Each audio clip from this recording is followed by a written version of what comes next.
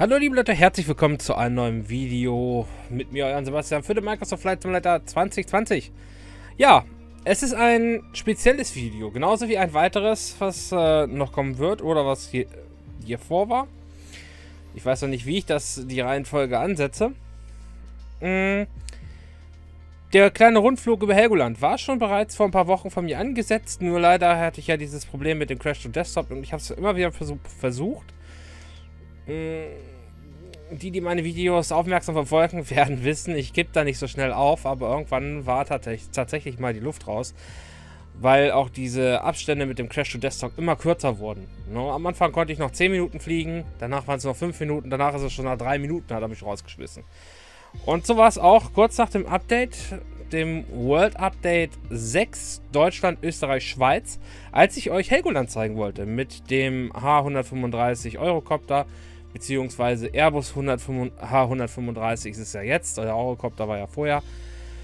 Von der High Performance Group, ihr kennt es, eins mit der mega, mega, mega, mega, mega, mega, mega mäßigen, beliebtesten ja, Hubschrauber-Mod und die erste, die es auch für den Microsoft Flight Simulator gab. Hm. Ja, damit bin ich dann eine Runde geflogen mit der Eintracht Braunschweig-Lackierung. Die habe ich hier leider mittlerweile nicht mit. Die habe ich wahrscheinlich aus Versehen gelöscht und habe jetzt auch kein, keine Zeit gehabt, eine neue draufzuziehen. Deswegen bin ich mit der offiziellen, Lackierung der High Performance Group geflogen, um das Video zu beenden. So, also, ihr werdet dann in, in der Mitte des Videos irgendwo mal eine Art Cut finden, wo ich auf einmal fliege, aber halt mit einer anderen Lackierung und euch äh, ja auch nochmal darauf hinweisen werde, dass dies eine nachträglich hinzugefügte, äh, ja, nach, nachträglich hinzugefügter Videoclip ist, weil halt das Spiel da drin genau eigentlich fast kurz vor Ende müsste es eigentlich gewesen sein. Ich wollte euch noch ein in Klammern Easter Egg, in Klammern ein möglich, also mögliches Easter Egg zeigen. Also hier ist auf jeden Fall nichts, also eine Sehenswürdigkeit ist es nicht. Aber hier an dem Bereich kommt ja eh sowieso kein Tourist hin. Nicht, dass ich was wüsste. Ja, und das ist halt, wie bereits gesagt, Helgoland hat nicht nur kartenmäßig größere Texturen gekriegt, sondern auch, was die Darstellung angeht. Lehnt euch zurück, genießt das Video. Ich werde es jetzt in dem entsprechenden von vorne laufen. Es kann also sein, dass ich euch nochmal begrüße. Auf Macht euch nichts aus. Wie gesagt, äh, das Videomaterial ist so schade, um es wegzuschmeißen. Und warum nochmal komplett neu drehen, wenn das erste doch relativ gut war. In diesem Sinne wünsche ich euch viel Spaß. Hallo liebe Leute, herzlich willkommen zu einem neuen Video rund um den Microsoft Flight Simulator 2020. Ich bin Sebastian und wir sind hier auf Helgoland. Ja, das große World Update 6 hat zwar bei mir persönlich nicht allzu viel vorangebracht, was die Abstürze angeht. Deswegen arbeite ich weiterhin am Speicherständen. Aber grafisch hat es einige Aufwertungen gegeben. Ich habe euer das Video mit der kurzen Overview fertiggestellt für euch gehabt. Auch da drin ein paar Bilder aus meinen Testflügen. Ja, und ich dachte, ich mache nochmal eine kleine Sonderfolge zu Helgoland. Denn ihr wisst ja, ich hatte damals ja ziemlich am Anfang des Spiels mal Helgoland präsentiert. Und ja, da sah es nicht so schön aus wie jetzt. Ich dachte mir, okay, äh, machen wir das nochmal. Und ja, hier auf Helgoland geht es eigentlich relativ, ja, gut ab, muss man sagen. Da hinten steht momentan ein anderer Spieler noch. Aber auch sonst hat man hier öfters mal große Airbus-Flugzeuge, die dann halt landen und starten. Also richtig große Maschinen, die normalerweise gar nicht für diesen Flugplatz hier ausgelegt sind. Und dann muss man natürlich noch erwähnen, dass hier auch eine Lande-Challenge angesetzt wurde. Gut, unseren kleinen Flug machen wir heute mit dem Eurocopter H135, sprich so hieß er früher, heute heißt er ja Airbus H135. In der Lackierung von Tommy 1711, glaube ich, war das. In der Eintracht Braunschweig Lackierung. Download-Link ist unten in der Beschreibung. Eintracht Braunschweig natürlich, äh, weil ich ein Eintracht Braunschweig-Fan bin und auch aus Braunschweig stamme. Und deswegen ein bisschen Eigenwerbung und zu seinem, zu seinem Verein sollte man ja auch stehen. Also, warum nicht? Gut. Der Grafikfehler sieht jetzt gerade nicht so gesund aus, habe ich das Gefühl. Gut, dann starten wir mal. Wollen wir nicht allzu lang aufhalten.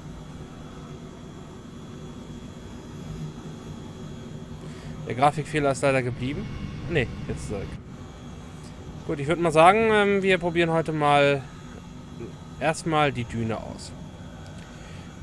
Die Düne, für die meisten wohl auch vor allen Dingen wegen den Robben bekannt, aber auch mittlerweile, ja, Erholungsparadies Nummer 1. Auch hier ist, oder beziehungsweise sagen wir mal so, hier ist auch der einzige Zeltplatz, wenn man hier bei Helgoland ist.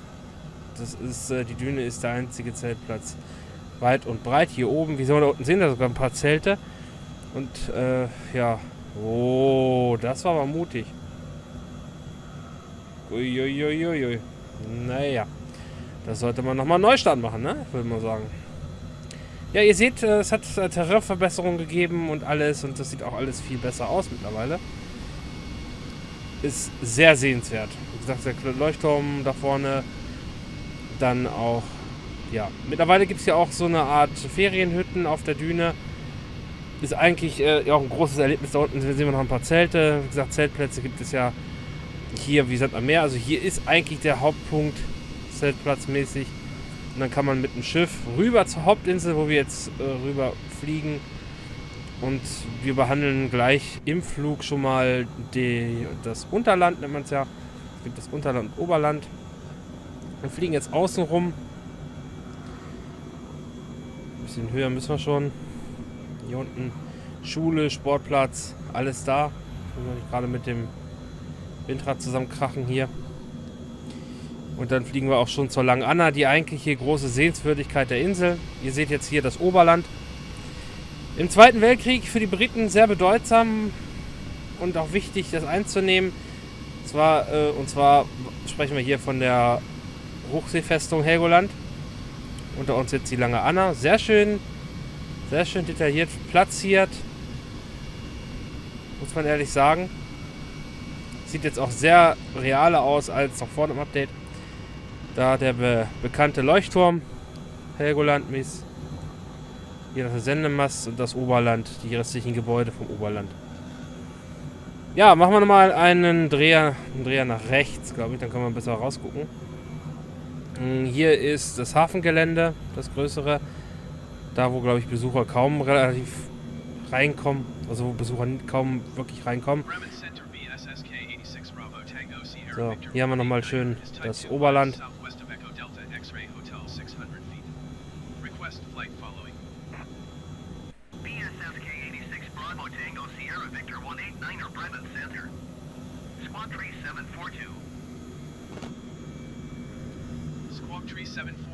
BSSK 86 Bravo Tango Sierra Victor 189er.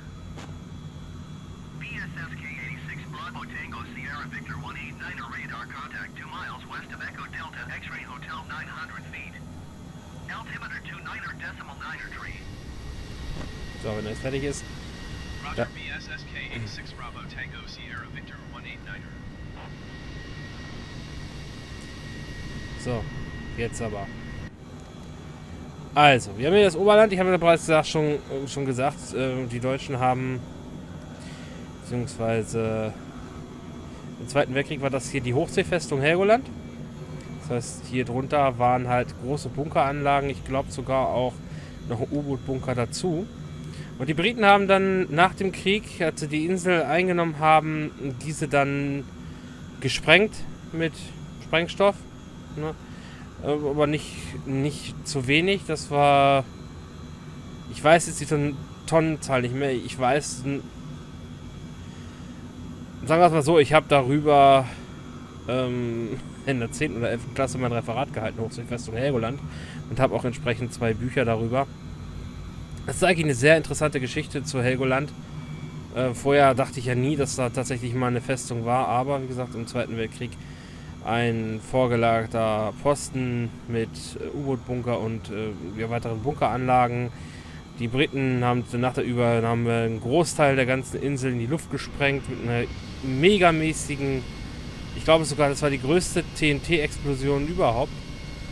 Also nur mit TNT. Und deswegen sieht die Insel so aus, wie sie heute aussieht. Die war im Ursprung mal ein bisschen größer. Hier haben wir jetzt, wie gesagt, das Oberland. Kommen wir jetzt direkt mal zum Unterland. Ober- und Unterland verbindet nicht nur diese Straße da hinten bei dem, bei dem Gebäude rechts. Wenn wir mal so hinblicken in die Richtung.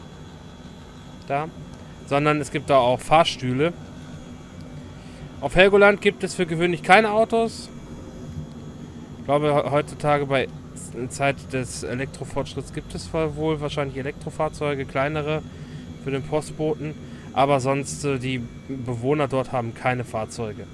Im Endeffekt braucht man es eigentlich auch nicht, weil man so auch so gut zu Fuß alles erreicht. Der Punkt unter uns ist eigentlich der bekannteste, wenn man halt nach Helgoland reist. Unter uns der Anlegesteg. Ich hoffe, dass ich das richtig zeigen kann. Ja. Unter uns also halt der Anlegesteg. Der einzige, der direkt dran fahren kann, so ist mein letzter Stand jedenfalls, ist der Katamaran. Der kann direkt dran anlegen. Ich glaube, der fährt von äh, Bremerhaven oder Bremen weiß ich jetzt nicht hundertprozentig, aber der Katamaran kann auf jeden Fall dranlegen. Alle anderen Boote, von Husum zum Beispiel, da bin ich damals mitgereist, die müssen dann hier vor dem vor der Helgoland-Insel in sicheren Gewässer ausbooten. Das heißt, die Passagiere müssen in so kleine äh, Beiboote und werden dann hier an Land gefahren. Ein Ausflug, ein Urlaub lohnt sich auf Helgoland immer. Also es ist total top. Die Insel gefiel mir damals schon. Ich werde auch wohl bald mal wieder hinfahren. Das ist eine meiner Favoriteninseln. Nicht umsonst stelle ich sie euch jetzt zweimal vor halt. Ja, und das wäre die neue In das neue Inseldesign von Helgoland. Im Microsoft Flight Simulator nach dem Update, Update 6. Und äh, ja.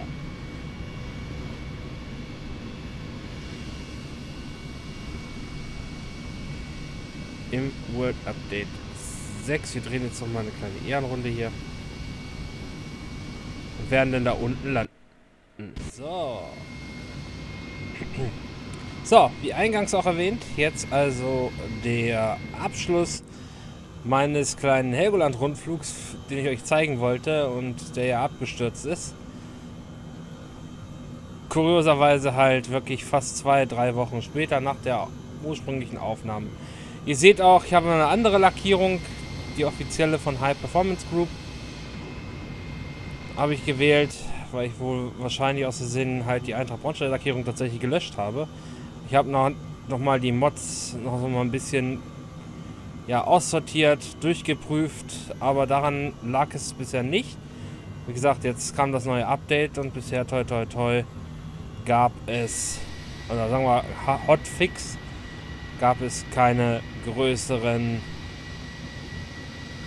Crash to Desktops mehr, was mich eigentlich ziemlich erfreut. Aber ich will den Tag nicht vom Abend loben. Bin froh, wenn ich euch jetzt dieses Video oder diesem Video einen Abschluss bieten kann. Mit einem schönen Blick auf die Lange Anna bei Sonnenuntergang. Wir haben hier schönes Wetter noch. Auf den, auf den Leuchtturm und den Funkenmast von Helgoland. Wir drehen jetzt nach rechts und landen halt da, wo ich ursprünglich mit euch landen wollte und auf etwas eingehen wollte, was mir ziemlich komisch vorkommt. So, jetzt müssen wir die Trimmung wieder ein bisschen einstellen. Eben gerade kam mir hier wieder ein Airbus entgegen. So. Hm. So, da unten wollen wir landen.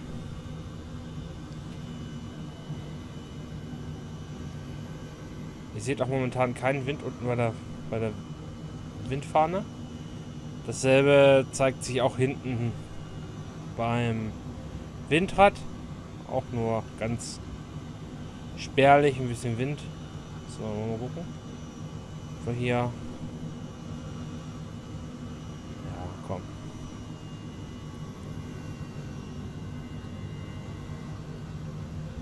Ah.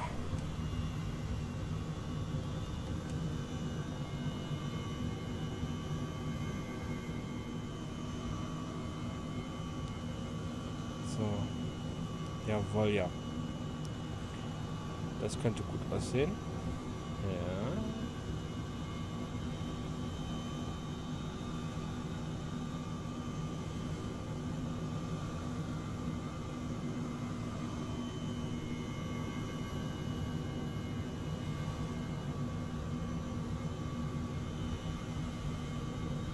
Na.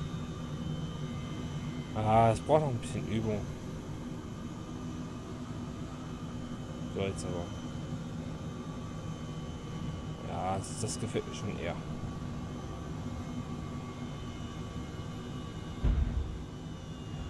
Bisschen grob, aber... So, auf Idle stellen.